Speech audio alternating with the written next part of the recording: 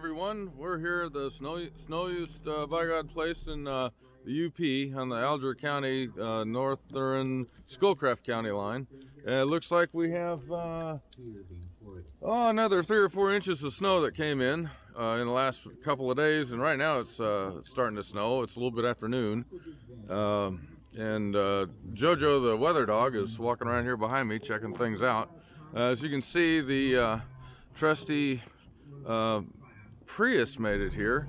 All right, uh, thanks to the Schoolcraft County Road Commission, those guys are giving them a shout out, doing a wonderful job keeping those roads clear. And it looks like somebody rented the uh, little house on wheels. So uh, y'all have a safe, uh, good time. Uh, it's going to be great for snowmobiling. I think we're going to have some more snow coming in. This event's going to go probably for uh, 10 hours. And we're, we're going to look forward to having some fun. Everyone be safe. Happy holidays.